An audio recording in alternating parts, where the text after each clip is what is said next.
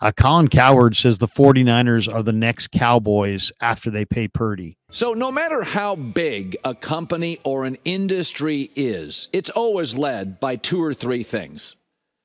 Even at this company, not everything makes big money. Fox News, Tubi drives a lot of revenue.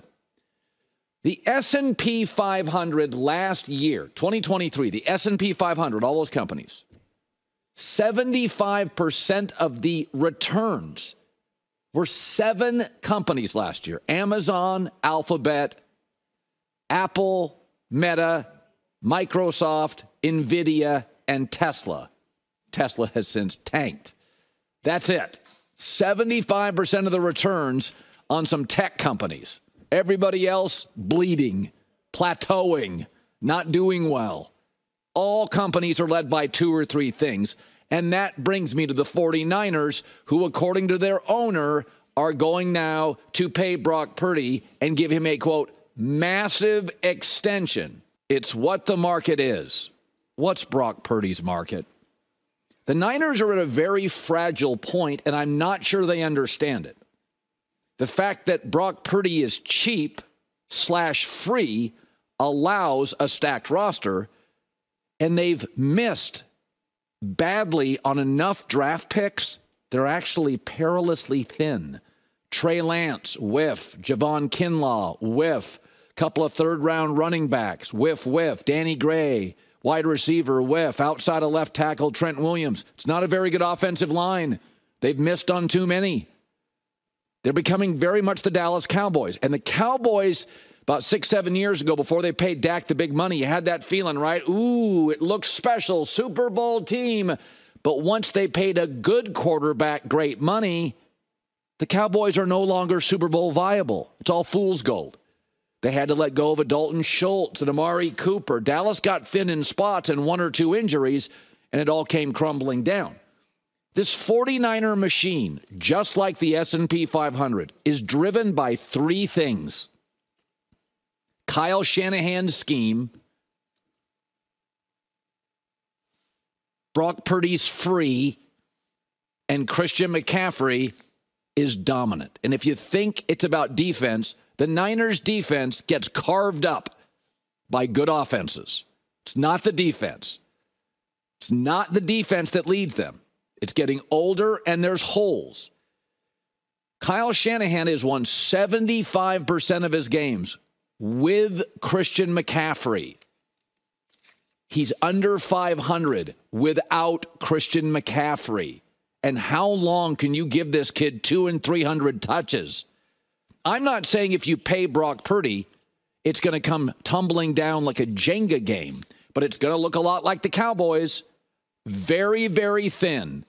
And about the time January hits, you don't really match up with a Kansas City, a Baltimore, a Buffalo, maybe a Detroit and a Green Bay going forward. You don't quite have the pieces. You know, you lost that one receiver, your tight end's banged up, Trent Williams can't play. That's the Cowboys. Three or four great players and really, really thin after that.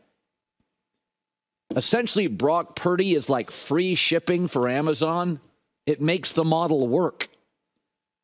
You double and triple that Amazon shipping, their stock ends up probably looking more like Tesla. Every major business, they call it the Magnificent 7, the S&P 500 are a big chunk of our economy, seven companies. And they don't always hit year after year after year. Alphabet, Amazon, Apple, Meta, Microsoft, Nvidia, Tesla, and Tesla's in the tank just a handful drive even the biggest machines. Brock Purdy being free is a big driver of that. Do you agree? I mean, Cowherd loves the sky is falling narratives. He just he builds up on the sky is falling. But what do you think? If the Niners give Purdy fifty million dollars, are they going to slide into becoming the Dallas Cowboys that are that are good but not good enough? This is always the issue that teams run into when you pay quarterbacks big time dollars. And that's why teams have really tried to follow that Carson Wentz Eagles model the Joe Burrow Bengals model. And that's what the Niners are literally doing right now with Brock Purdy. They're really trying to capitalize on winning a Super Bowl as that quarterback is on their rookie deal, because then you can afford to have a roster like the Niners, which is the most talented in the NFL. You can afford to have a really good team with the Cincinnati Bengals and have those good surrounding pieces. The Houston Texans are following that model right now where they're giving Danielle Hunter a two year deal worth $49 million and they're spending all over the place in free agency on short term contracts worth a lot of money. Why? Because they understand that they have flexibility. CJ Stroud is going into year two. They can exercise that fifth year option. That's four more years of team control. Then you backload that contract extension for CJ Stroud and you can continue to be a Super Bowl contender over the next several years. And for the Niners and Brock Purdy here, he's been literally the best bargain deal in the NFL, making $900,000 this past year for the production that he gave them, where statistically he was a top five, top 10 quarterback in every category. And he led you to the Super Bowl, and you're paying him less than a million dollars. Now, he's going to try to make up for that lack of pay in cashing in on this new deal. And a lot of people are like, you think Brock Purdy would take a hometown discount? I don't think so nor should he even go to a point where he's even thinking about that because he's earned this new deal. But you look at the top 10 quarterbacks in the league right now, and then you also look at the teams, right? And how they're built. Joe Burrow is making $55 million. Justin Herbert, 52 and a half. Lamar Jackson, 52. Jalen Hurts, 51. Kyler Murray, 46. Deshaun Watson, 46, Kirk Cousins at 45, Patrick Mahomes, 45, Josh Allen, 43, Matthew Stafford at 40.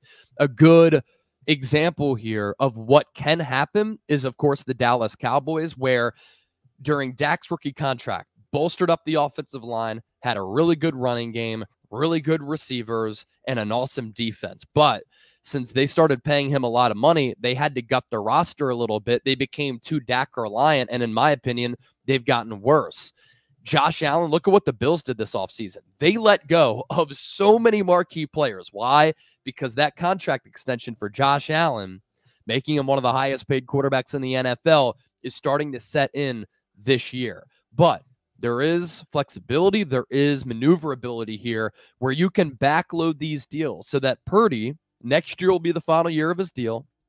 And then let's say that real money starts to come in three, four years down the line, you can still pay players top dollar in the meantime until that contract really starts to set in. The issue once Purdy's average annual value starts to hit the salary cap is he going to be able to carry the boats? Is he going to be able to shoulder the load and put this team on his back and make everybody better, like a Patrick Mahomes? And Patrick Mahomes and that Chiefs offense this past year was not good. They started to finally find a groove in the NFL playoffs, but he didn't have really good wide receiver talent. Rashee Rice was his number one. Of course, he had Travis Kelce, but that's the reality of when you pay these quarterbacks a lot of money is that once that contract starts to come into play, you're unable to really have a roster as deep and as loaded as what the Niners have right now. And you're seeing that with the Dallas Cowboys. So, of course, that's a concern, but I have more confidence in this front office. I have more confidence in this coaching staff. I have more confidence in Jed York as compared to Jerry Jones. Up and down, Niners are a better run organization, a better roster, and a better coaching staff than Dallas.